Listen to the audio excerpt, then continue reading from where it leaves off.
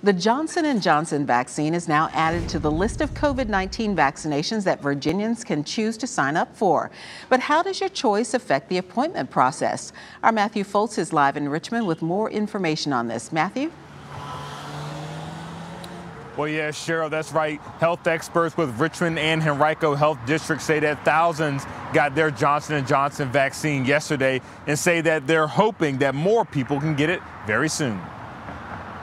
Vaccine handouts are on the rise across the Commonwealth, allowing for more people in Phase B to get vaccinated, along with the new vaccine, Johnson & Johnson. Yesterday was our first Johnson & Johnson vaccination event, which was really exciting for us. Kat Long is with the Richmond Henrico Health District. She says on Monday they were able to administer the new vaccine, which only requires one dose, at the Richmond Raceway. We uh, gave the vaccine to over uh, 2,200 individuals, uh, particularly seniors. Long says with more shipments of the vaccine coming in, it's allowing everyone in Phase B to now get the vaccine.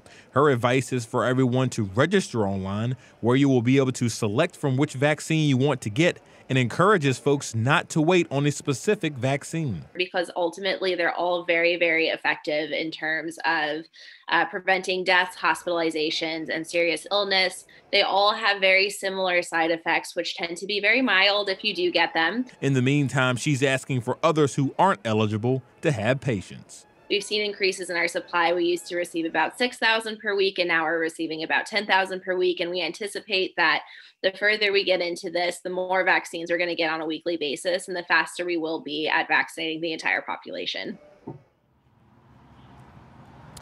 Now, Long also adds that if you have registered to be on the lookout for an email confirmation, you can also check the Virginia Department of Health's website for your status on your registration.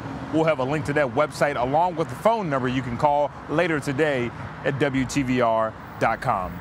Working for you this afternoon in Richmond, I'm Matthew Foltz, CBS 6 News.